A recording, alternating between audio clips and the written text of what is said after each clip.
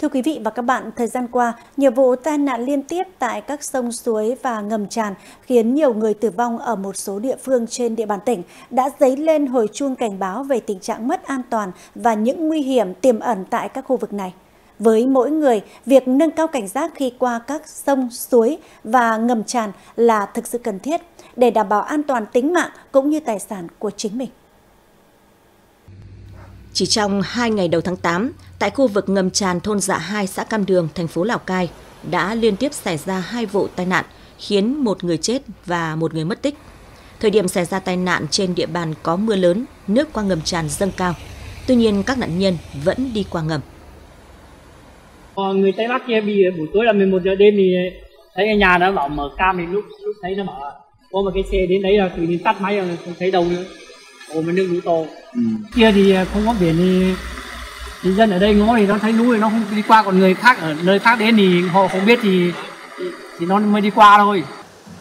Riêng trên địa bàn thị xã Sapa, từ đầu tháng 8 đến nay cũng đã có 3 nạn nhân tử vong liên quan đến các ngầm tràn sông suối, trong đó có một du khách tử nạn khi trượt chân xuống suối Mường Hoa.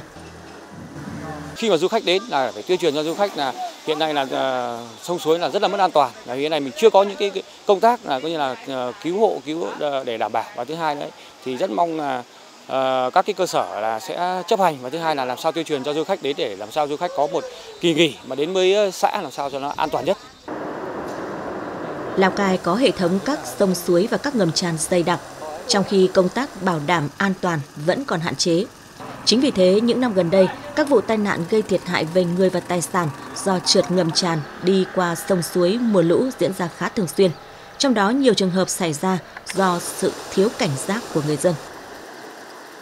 Chúng tôi luôn luôn khuyến cáo người tham gia giao thông không được chủ quan, lơ là, à, mất cảnh giác, không được à, cố tình vượt qua qua các ngầm tràn các cái cấp ờ, chính quyền ở địa phương